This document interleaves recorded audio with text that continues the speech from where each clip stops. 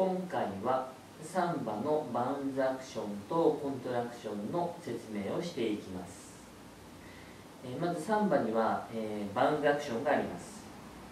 上下の動きですね。でこれがどうなっているかっていうのを説明していきます。まずサンバの one、two、three、four に合わせて one、two、three、と bounce action が入っていきます。リズムに対して one a two a three a four a で bounce をするのは膝と足首。かかとを上げてかかとをついて膝を曲げる。 one twoスリーフォー。決して難しくないです。で whisk とか、えー、いろいろなステップに対して one a two a three a four a one a two a three a four a one。でこれよく、えー、ありがちなのが whisk とかをやった時に、えー、 one a two three a four。one a two three a four one a two こうなりやすいですこれはダウンアップダウンそのままダウンアップダウンそのままダウンアップダウン bounce が切れてますではなくてアダウンアップダウンアップダウンアップダウンアップダウンアップダウンアップダウンアップダウン。同じようにボタフォゴの場合でもダウンアップダウン。ストップこのまま次に行ってしまうこのまま行くとダウンアップダウン。ダウンアップダウン。ダウンアップダウン。こうなってる人が非常に多いです。ではなくてアダウンアップダウン。アップダウン。アップダウン。アップダウン。アップダウン。アップダウン。アップダウン。となりでそれと,、えーと、 contraction について、えー、説明をします。 contraction というのはよくこれも勘違いでサンバの contraction をお尻の動きお尻を前前後に動かす。こう思っている人も多いかもしれませんダンスでいう contraction というのは contract を縮むという意味です。じゃあどこが縮むかというとこのお腹のところこれが縮んで contraction と言います。でいつ縮むかっていうと bounce で分かるように上下しますと頭の高さも変わってしまいます。それを下半身は bounce をしているんだけれど上半身頭の位置はあんまり変わりません。じゃあどうしてそこが変わらないで、えー、 bounce ができるかっていうとダウンからアップしていく時に上に行かないでその部分をお腹の部分で吸収します。ダウンアップする時にお腹の部分で吸収する。アップする時に吸収。吸収がなかったら上に行ってしまいます。それが前に行くことで吸収お腹の部分短くして上には行かないようにします。この吸収のことをダンスではコントラクションと言います。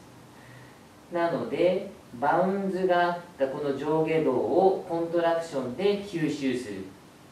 下半身は上下動があるんだけど上半身は上下動はあまりなくなります。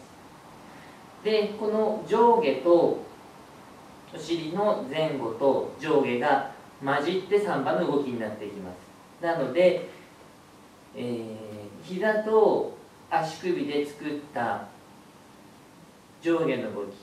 で骨盤が前に入ります。で前に入ったものはそのまま後ろに行きます。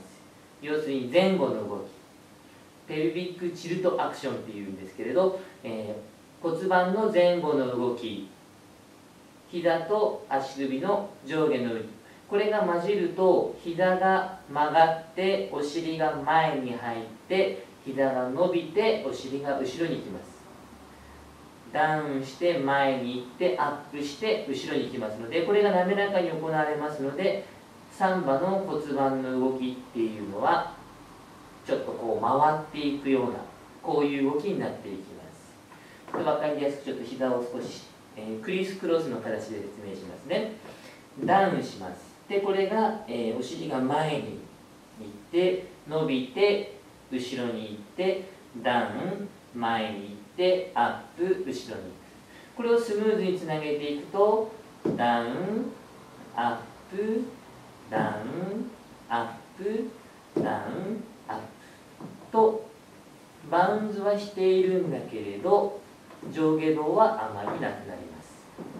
クリスクロスでダンアダンアダンアダンア左側でもダンアダンアダンアダンで横向きで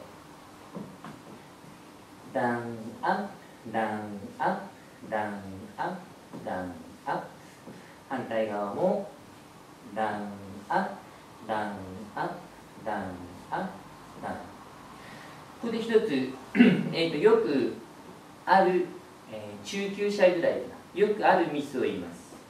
criss cross などで one a two a three a four。one two three four。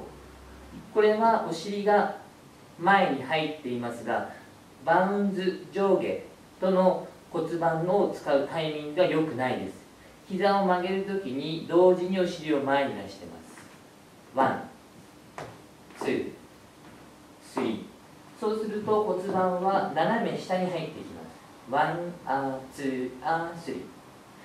正解は one a two a three。One a two a three a four ですので、えー、途中まで、間違いで後半正しいのにしてみます one a two a three a four ではなく one a two a three a four ということになります